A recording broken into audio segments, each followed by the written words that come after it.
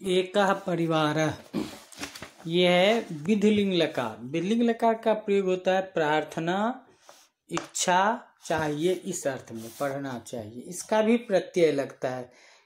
ते एत एताम एयुह एह एतम एत, एयम एव एम।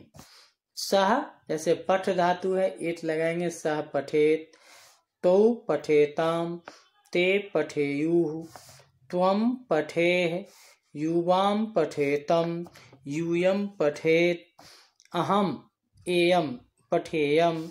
आवाम पठेव वयम पठेम। इस तरह से ये रूप चलता है। एत, एताम एयुह एह, एतम, एत, एयम, एव, एम। जिस धातु में हम लगाएँगे, गम है तो गच्छेत, गच्छेताम, गच्छेयु। गच्छे गच्छेतम गच्छेत, गच्छेयम गच्छेव गच्छेम। लिख धातु है, लिखेत, लिखेताम लिखेयु, लिखे, लिखेतम लिखेत, लिखेयम लिखेव, लिखेम। इस तरह से इसके रूप चलता है। हिंदी में अर्थ होता है चाहिए। सह पठेत, उसे पढ़ना चाहिए। तो पठेताम, उन दोनों को पढ़ना चाहिए।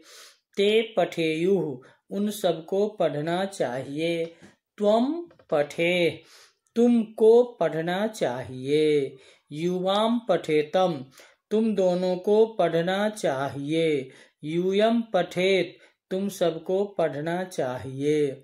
अहम पठेयम मुझे पढ़ना चाहिए। आवाम पठेव, हम दोनों को पढ़ना चाहिए।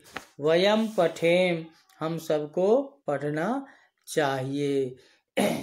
एकस्मिन् गृहे पितामह पितामही तयो च पौत्र च तिष्ठन्ति। एक घर में पितामह पितामही और उनके तीन पोते बैठे हैं, ते परस्परम वार्तालापम कुर्वन्ति। वे आपस में बातचीत कर रहे हैं। अभिषेक, पितामही प्रणमामि।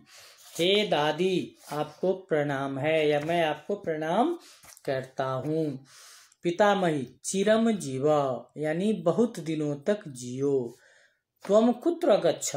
तुम कहाँ गए थे? किम तुम भोजनम खादिष्यसि? क्या तुम खाना खाओगे? अभिषेक, न न अहम भोजनम न खादिष्यामि। नहीं नहीं, मैं खाना नहीं खाऊँगा।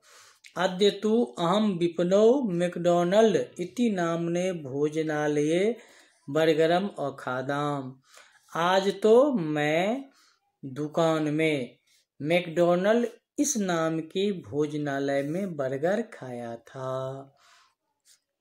पितामह, तत्र तत् संपूर्णम भोजनम नास्ति। वह संपूर्ण यानी पूर्ण भोजन नहीं है। बर्गर जो है, वह क्या है? पूर्ण भोजन नहीं है। तुम पौष्टिकम भोजनम खादे। तुम्हें पौष्टिक भोजन खाना चाहिए। किम तुम प्रातः दुग्धम अपिवा क्या तुमने सुबह दूध पिया था? अभिषेक दुग्धम तू मह्यम न रोचते। दूध तो मुझे अच्छा नहीं लगता। यहाँ देखो, रुच धातु है। अच्छा लगना, उसमें जिसे अच्छा लगता है, उसमें चतुर्थी विभक्ति होती है। तो इसीलिए मुझे यानी मह्यम आ गया चतुर्थी रुचि धातु के कारण। तो दुग्धम तू मह्यम न रोजते दूध मुझे अच्छी नहीं लगती है। पितामही, ये था उपपद विभक्ति का। पितामही, वयम दुग्धम अवश्यम पिबेम, हमें दूध अवश्य पीना चाहिए। यतः क्योंकि इदम अस्माकम शरीराय स्वास्थ्य प्रदम भवती। यह हमारे शरीर के लिए लाभदायक होता है। युष्माभ्यम तो इदम अत्यावश्यकम। तुम सबके लिए तो यह बहुत ज़रूरी है। युष्माकम शरीरम हृष्टम पृष्ठम स्वस्थम च भवेत। तुम्हारा शरीर हष्ट पृष्ठ और, है ना, स्वस्थ होना चाहिए। अभिनव। मम मित्रम तो बलिष्ठ अस्ति, मेरे मित्र तो बलिष्ठ हैं। सह प्रातः काले भ्रमणाय अपि गच्छति, वह सुबह घूमने के लिए भी जाता है। पितामही, आम, प्रातः भ्रमणम स्वास्थ्याय लिहित क्रम भवती। सुबह का घूमना जो है, वह स्वास्थ्य के लिए हितकर होता है। है ना? युवाम अपनी भ्रमणाए हम सबको भी घूमने के लिए जाना चाहिए और क्या करना चाहिए? व्यायाम करना चाहिए है ना? मैं तो व्यायाम करता हूँ पर मुझे पढ़ना अच्छा नहीं लगता पितामही।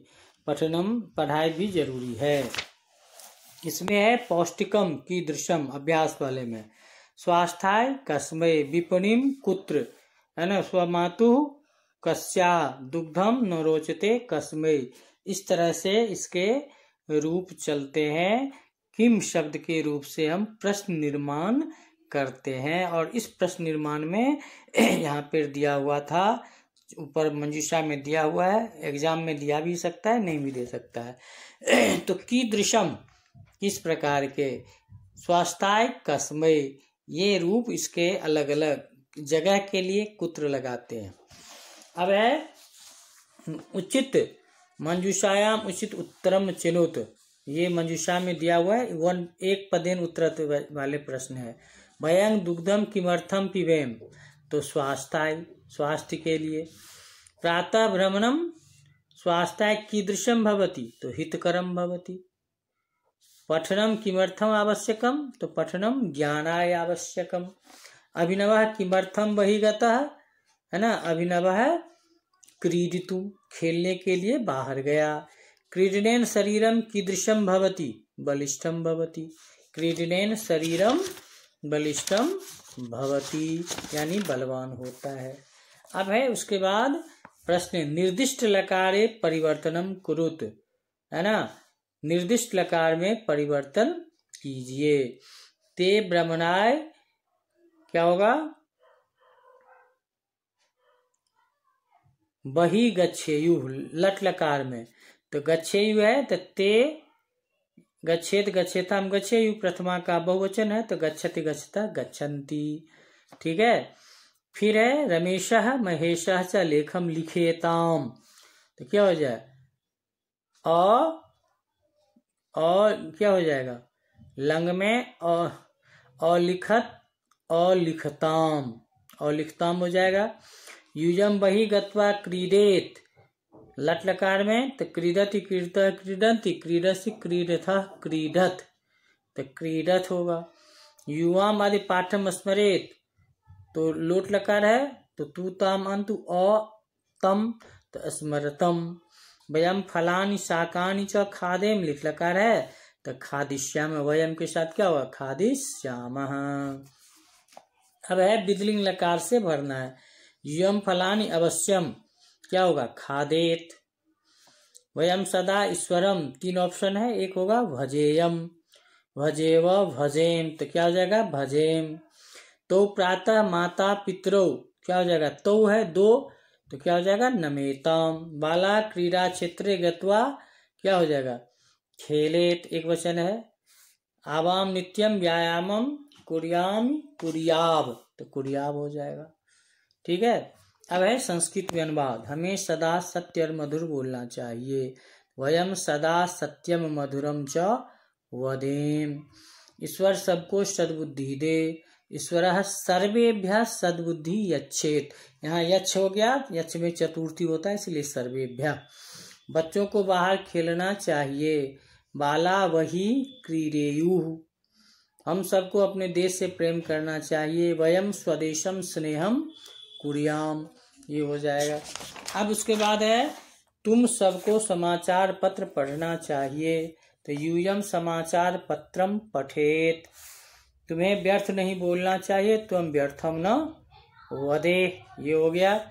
अब है, अव्यय, मंजुषा में दिया हुआ है, इससे लिखना है। अब यहाँ देखो, मानसी, मानवी, मनस्वी, दो है तो दो के बीच में चौ लगाते हैं और। तो चौ विद्यालय गच्छत।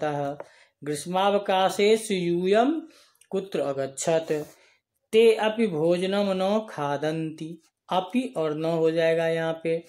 फिर गृहात डैश मागछ घर के ना जाओ तो यानी कहाँ बाहर ना जाओ तो वही।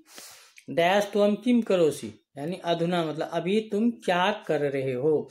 तो इस तरह से इसके प्रश्न हो जाते हैं और ये प्रश्न जो है आपको सारे कंप्लीट करना है